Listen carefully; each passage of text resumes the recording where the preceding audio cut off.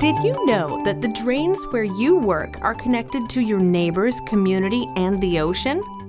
Kitchens are full of fats, oils, and grease. In meats, in dairy products, and dressings, we cook with them and put them on our food.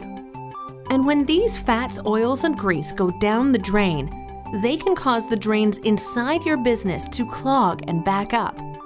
This is a health and safety concern for staff and customers, and it costs money to fix for staff overtime, plumbers and supplies, as well as money lost while your business is closed for repairs. Fats, oils, and grease can also clog septic fields or sewer pipes, which can cause sewage to back up into homes or to overflow into the streets. This is a health and safety concern for your neighbors and community. If fats, oils, and grease flow through the septic system, the waste can pollute waterways and groundwater.